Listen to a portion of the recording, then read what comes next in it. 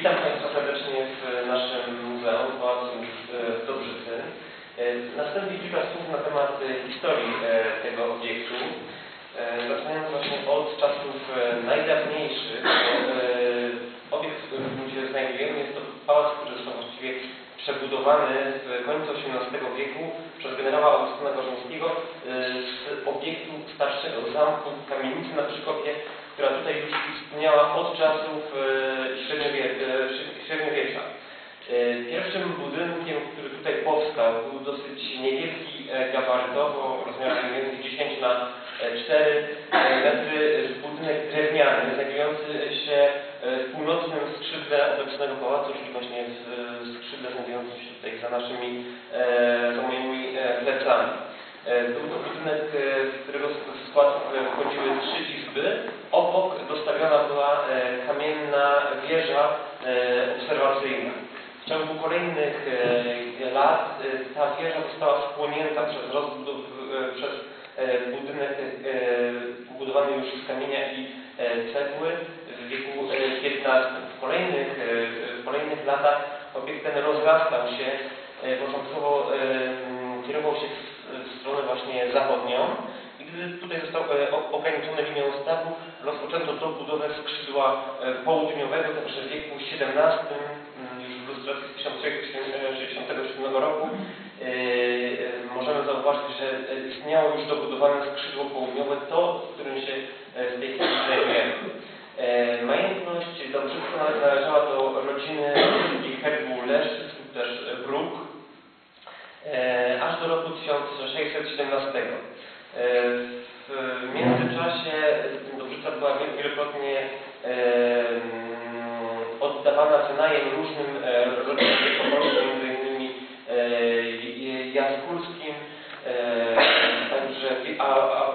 1417 przeszła już na własność e, e, rodziny Gorzeńskich, zakupił ją e, Aleksander Gorzeński, dosyć zamożny pan Wielkopolski, który pełnił funkcję, wiele, wiele funkcji ziemskich, ale także od roku, od lat 30. wieku XVIII po śmierci swojej małżonki stał się osobą duchowną,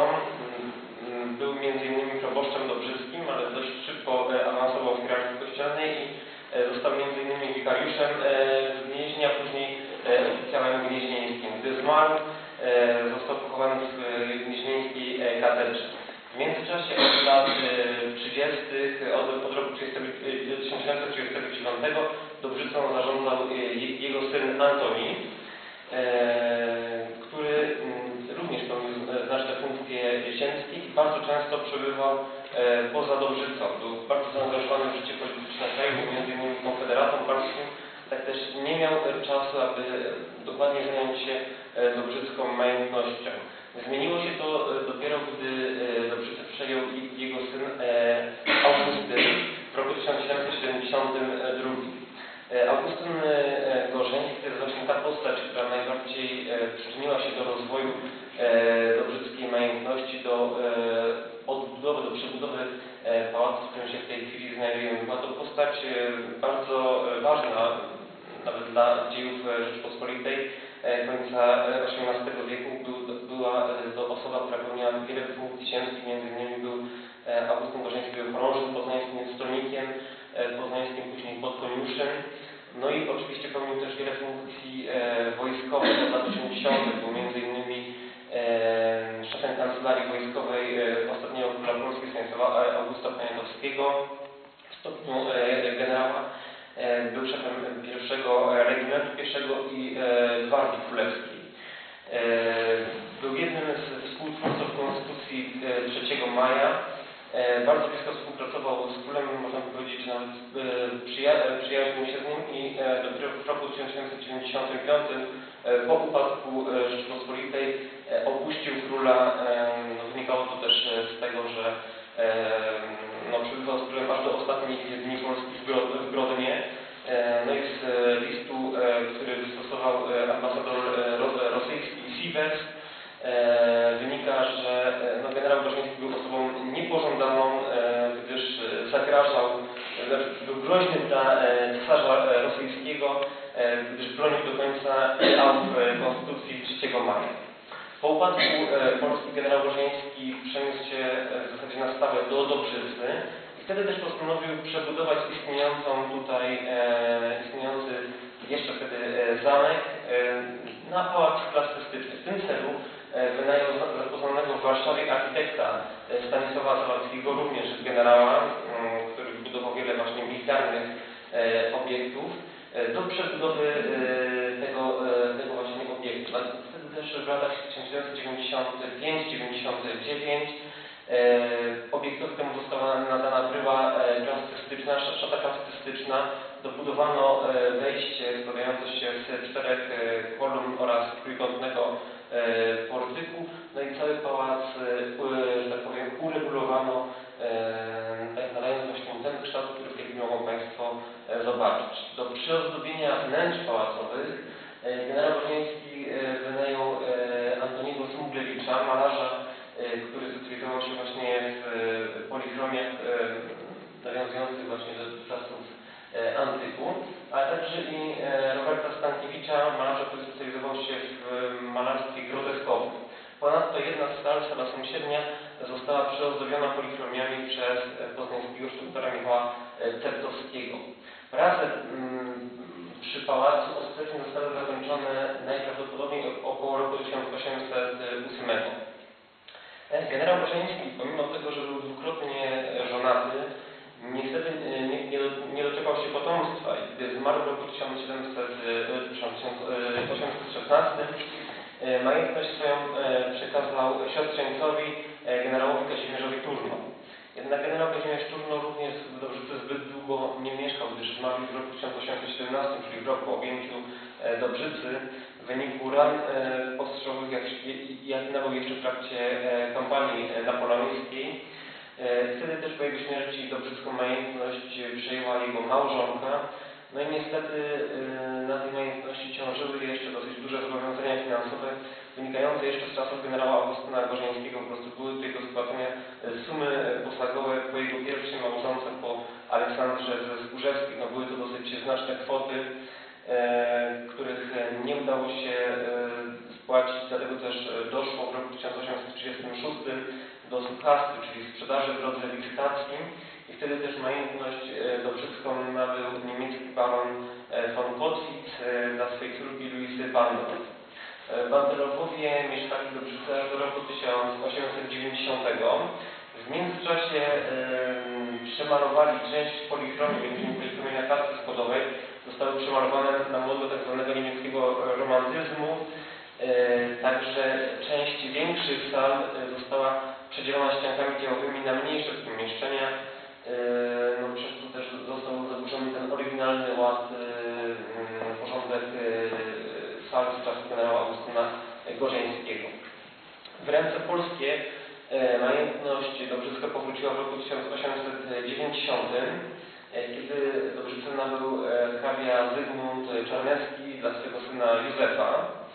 E, Hrabia Zygmunt Czarnecki był znanym wielkopolskim e, ziemianinem, bibliofilem, e, kolekcjonerem, który, który też posiadał bardzo znaczne majątki w tej na obszarze południowej Wielkopolski. Między innymi był e, właścicielem pałacu w Rusku koło, Jarocina, e, ponadto e, pałac w Gogolewie, w Golejewku, e, koło Rawicza. E, Także ten, no, m, ta e, postać była dosyć znacząca w dziejach wielkopolskich, gdyż była, to jedna z niewielu osób, które mm, jako, Polak, e, któremu ja- jako Polakowi udało się wykupić z rąk niemieckich e, m, majątność. To dosyć ważna majątność, jak- jaką była Dobrzyca w czasach, gdy w zasadzie Niemcy wykupywali z rąk polskich e, różne e, właśnie obszary. W rękach czarneckich Dobrzyca pozostała aż do wybuchu II wojny światowej. Gdy 1 września wybuchła wojna, czarnescy z Dobrzycy musieli uciekać. E, No, we wrześniu jeszcze tutaj powrócili. E, No, ale też zostali zaaresztowani przez władze niemieckie, a w pałacu został utworzony e, dom, e, przepraszam, e, e, obóz e, na, e, częściowy dla ziemian z terenu e, powiatu krotoszyńskiego, do którego wówczas Dobrzyca e, należała. Właśnie Czarneccy byli jednymi z pierwszych ziemian, którzy tutaj zostali os- osadzeni, później do Dobrzycy byli sprowadzani ziemianie z mm, pozostałych e, majątków Krotoszyńskiego. Ten e, obóz przejściowy e, mieścił się tutaj od października do grudnia 1939 roku. W grudniu 1939 e, ziemianie zostali wywiezieni przez dworzec foliowy w Koźminie do Generalnej e, Guberni, a tutaj został utworzony e, taki dom wypoczynkowy dla oficerów e, Wehrmachtu. W międzyczasie był tutaj również jeszcze magazyn zboża, a po II wojnie światowej pałac przez pewien czas stał pusty. Później zostały tutaj utworzone innymi klasy szkoły podstawowej, biblioteka. Przez pewien czas tutaj właśnie funkcjono- funkcjonowała, a od lat 60. e, w dwóch e, salach mieściło, mieściła się Izba Regionalna e, PT- PTTK.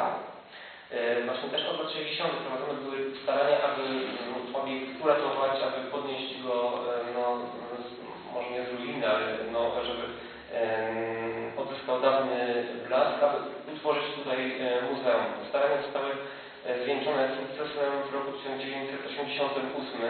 Wtedy też e, muzeum, e, pałac został przyjęty przez Muzeum Narodowe w Poznaniu i został tutaj utworzony oddział tego muzeum e, w remoncie. Remont tego obiektu trwał dosyć długo, gdyż e, trwał od roku 1988 aż do roku 2005. W międzyczasie e, zmienił się, tak organ prowadzący naszego muzeum, gdyż do roku 1995, jak już mówiłem, było to Muzeum Narodowe w Poznaniu, e, później był e, to wojewoda e, kaliski, aż do roku 1998, e, później Deszewski i od roku 2002 ostatecznie muzeum podlega pod samorząd województwa wielkopolskiego i od roku 2009 e, muzeum zmieniło nazwę na Muzeum Ziemiaństwa. No tak pokrótce wyglądałaby historia tego obiektu, natomiast jeśli chodzi o salę, w której się w tej chwili znajdujemy, jest to sala, która nosi nazwę sali barowej. Takie najprawdopodobniej było jej przeznaczenie w czasach generała Augustyna e, Gorzeńskiego. E, Sala została przedstawiona policzymienty, jak już mówiłem, niego Smuglewicza. Policzymienty przedstawiają tak zwane mariny, czyli widoki portów e, morskich. No większość spośród tych portów jest niestety niezidentyfikowana i pomiędzy kołą wnękową a drzwiami prowadzącymi do kredensu mogą Państwo zobaczyć latarnię na farę, przynajmniej tak to jest interpretowane przez e, historyków sztuki. Eee, Sala ta przez pewien czas też niesłusznie nazywana była salą rycerską, a to z tego względu, że pomiędzy kolumnami na tych krótszych ścianach mogą Państwo zobaczyć e, panowie, czyli uzbrojenie e, żołnierzy, ale z czasów e, Cesarstwa Rzymskiego, czyli nie rycerzy, a żołnierzy po prostu rzymskich. Jest nawiązanie do e, e, antyku, który nieprawidłowo został interpretowany. E, W też no, często oryginalny, czy e, co z tym żelazonem właśnie. E, Jest to żelazon, który mm, został wyprodukowany w latach 50. XX wieku e, w jednym z zakładów mieszczących się w okolicach Jeleniej Góry dla Pałacu Kultury i Nauki w Warszawie, a właściwie dla jednego sklepu, który się tam mieścił. W latach 70. ten rząd odprosił się do Brzyca, ale nie do pałacu, tylko do kościoła. W kościele wisiał aż do roku e, 2004. Przy okazji właśnie remontu 2004 roku przesłuchował e, ten rząd rozjął i e, sprzedał właśnie do naszego